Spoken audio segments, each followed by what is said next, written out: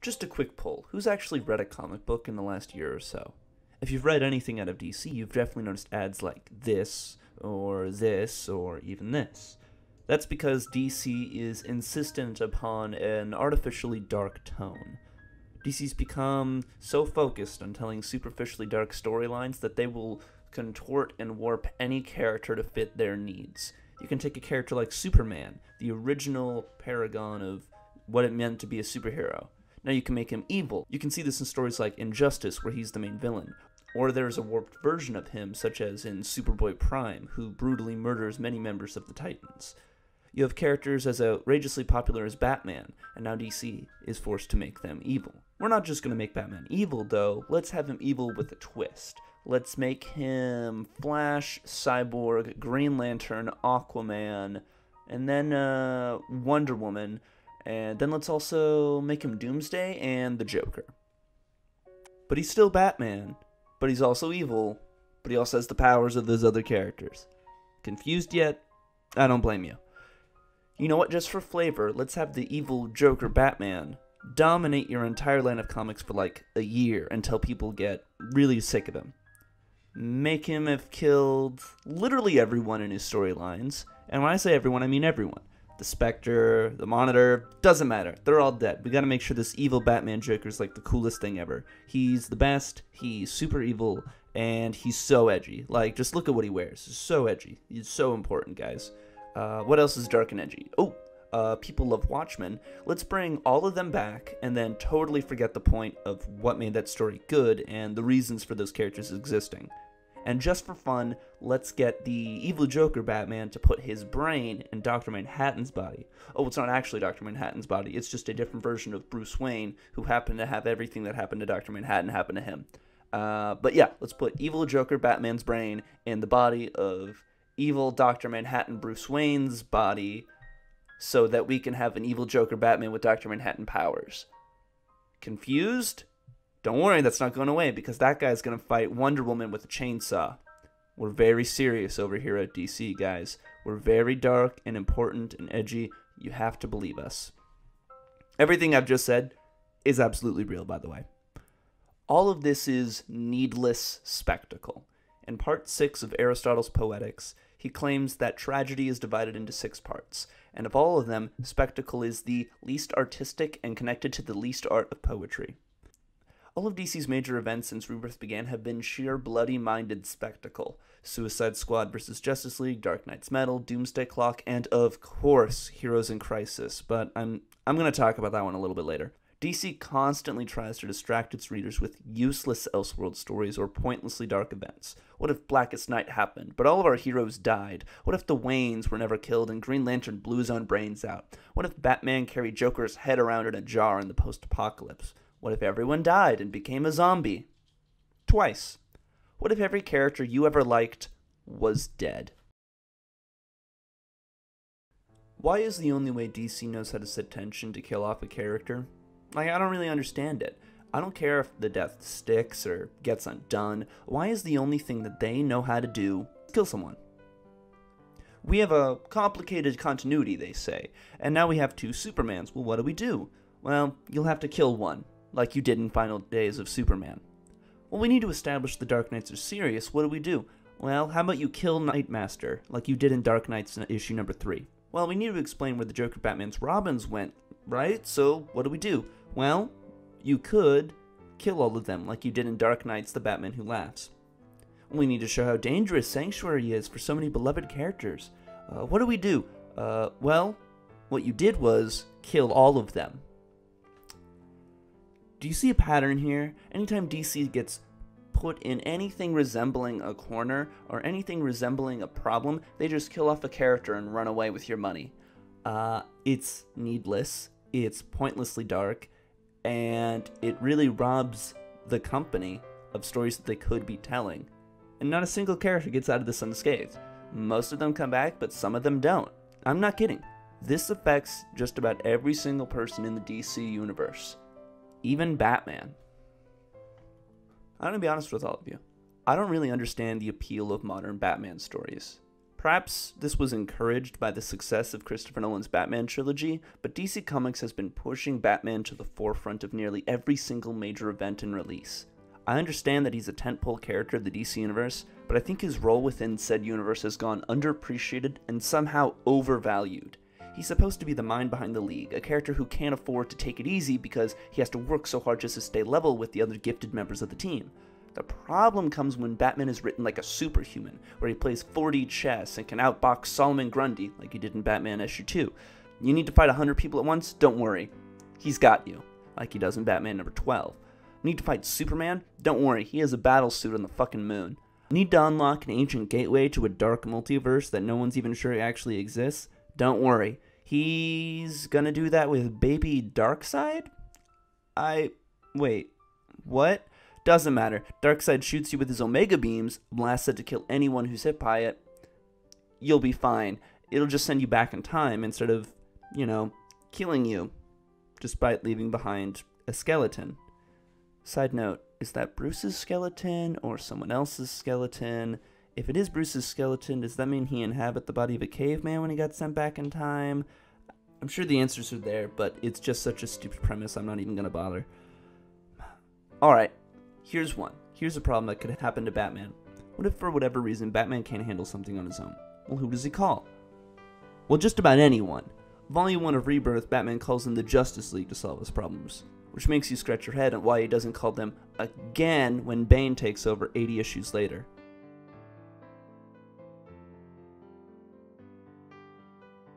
Or maybe he can call the Bat Family, which has like 20 members. Or maybe he'll call the Outsiders, maybe he'll call the new JLA, or the new Justice League, or Swamp Thing, or Booster Gold, or the Spectre, who's literally the wrath of gods. You'd think any of them can handle this problem, right? Apparently not. I know why these characters are in his books, guys. Because DC wants to have a larger shared universe. The problem is when things get really hard for Batman, he always has to do it himself. Until he doesn't. Dang it, man. Even when fighting the evil Joker Batman at the end of Dark Nights Metal, he still calls for help. Not from Superman or Robin or Wonder Woman, but he calls the Joker. My favorite Batman stories are the one where his back is up against a wall, legitimately, where he's in a situation only he can solve.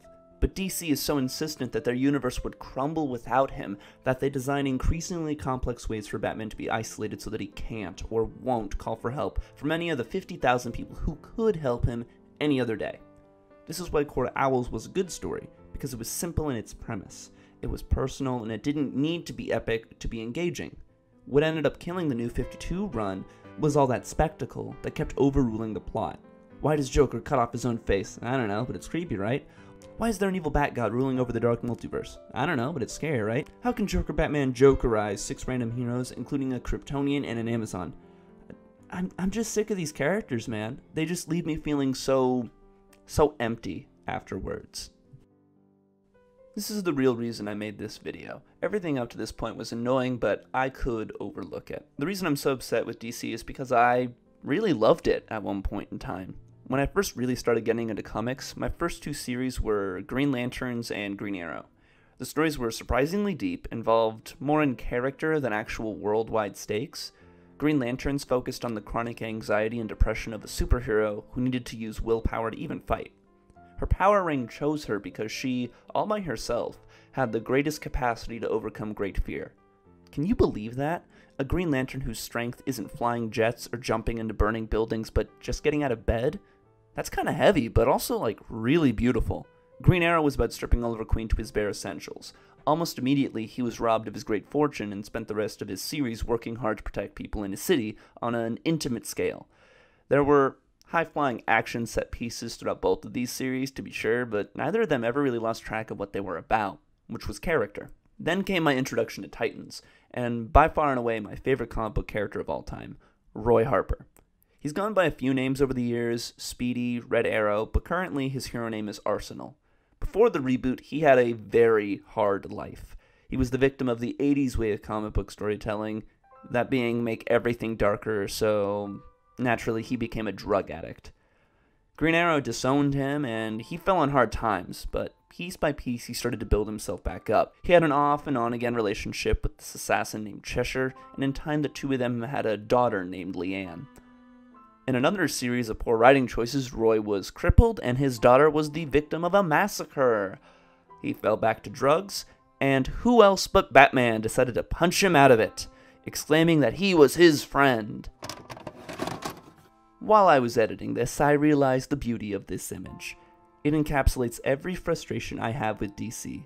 The brutally dark storytelling, the extreme loss writers need to give characters to motivate them, and of course, Batman, acting as if he's the moral spine of the DC universe and that his actions of barbarism are anything other than beating up another drug addled street thug with a gimmick. This image highlights everything I hate about DC, taking a truly incredible character and punishing him for daring to hog Batman's screen time even in a mini series about Arsenal.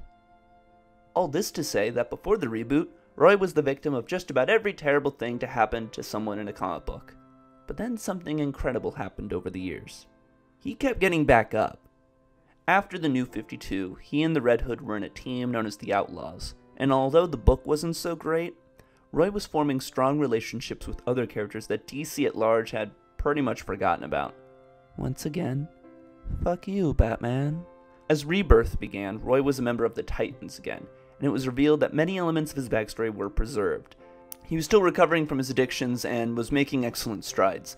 His team was supporting him, and he'd even used his experience to help in cases having to do with rehabilitation and redemption.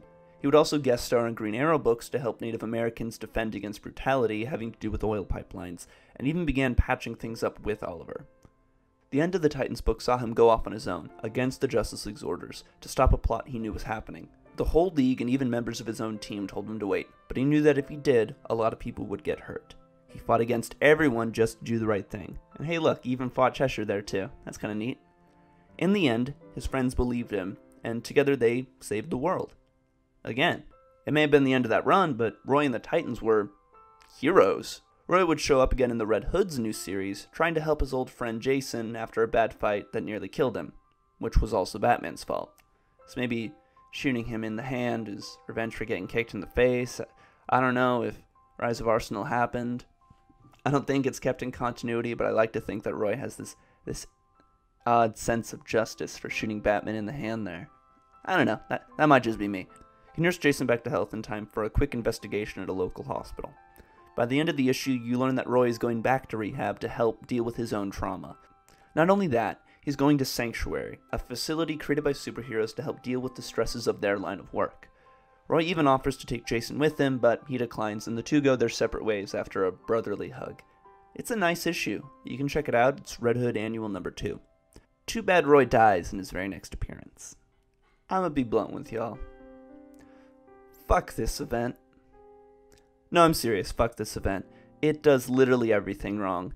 It damns mental health facilities, it makes trauma a fucking joke, it mischaracterizes countless heroes and villains in pointless testimonials that don't amount to anything beyond padding, and it viciously kills dozens of characters in the first issue for little more than shock.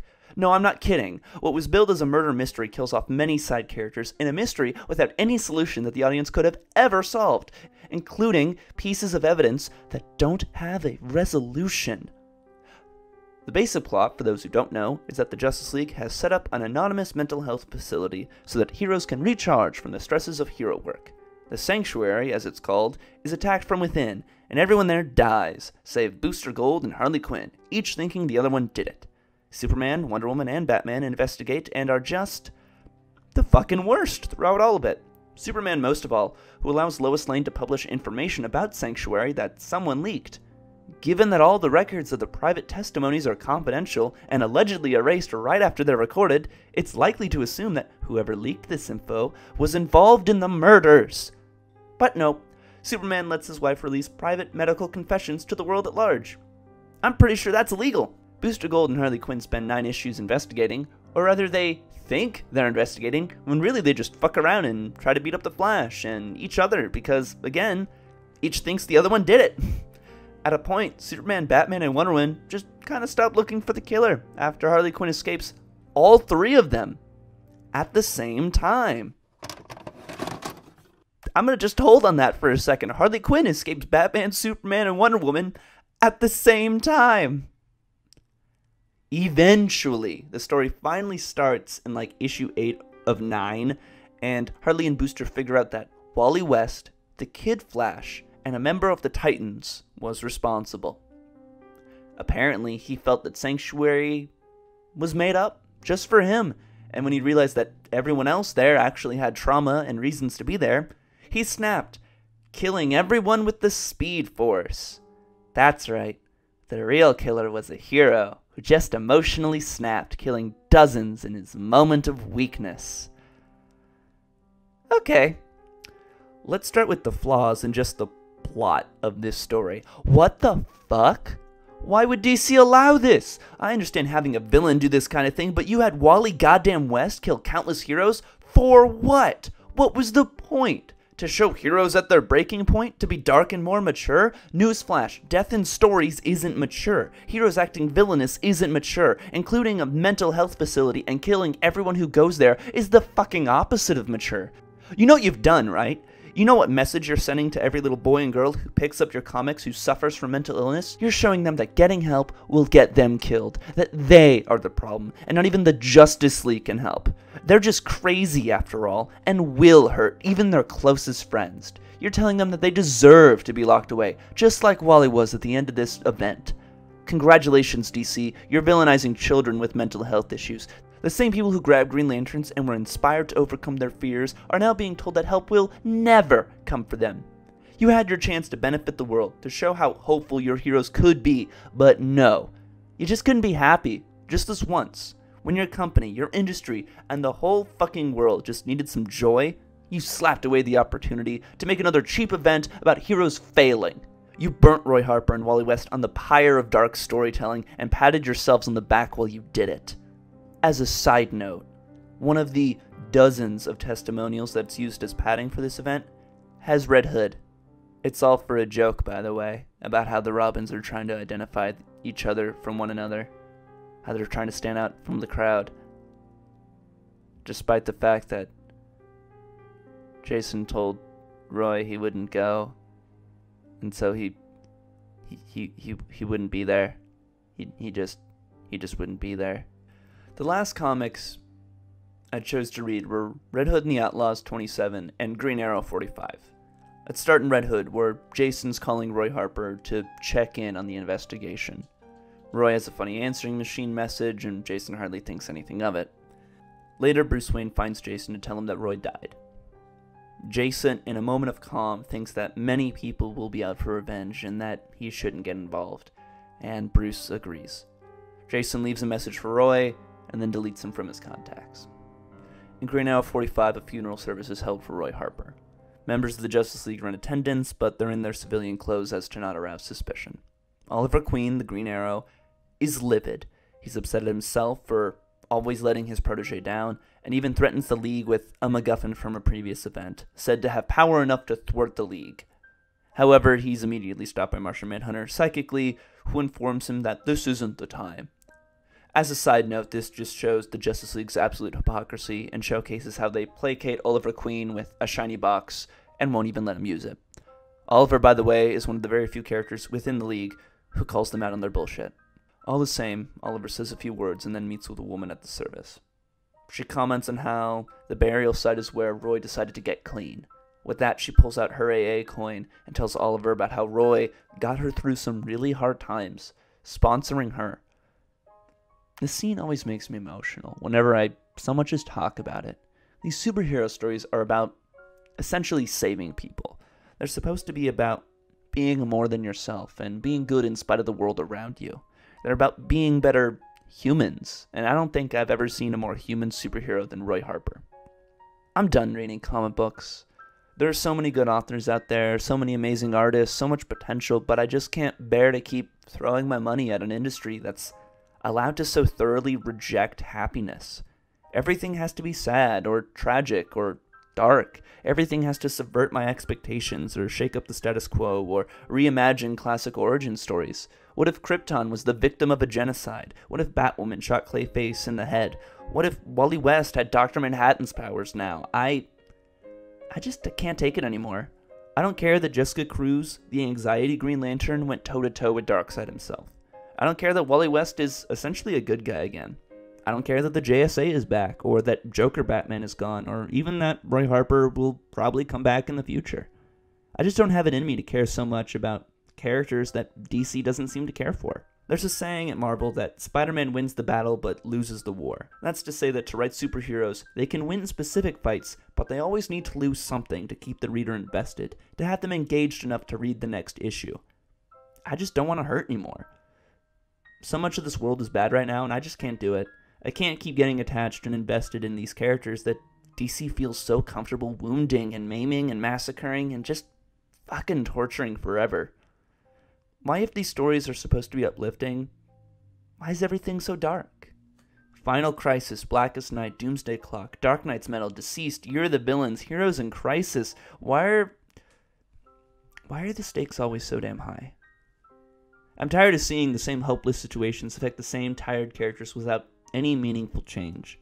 I guess I'm disillusioned to the fact that the industry doesn't change. Writers will keep oversaturating the market with so called dark stories. They'll keep killing characters that are actually heroic, and then they'll bring them back and do it all over again like nothing ever happened. And I just don't want to do it anymore. Alright, that's the official end of the video, and if you've made it to the end, thank you. I don't usually make videos like this, but I wanted to talk about this for over a year now.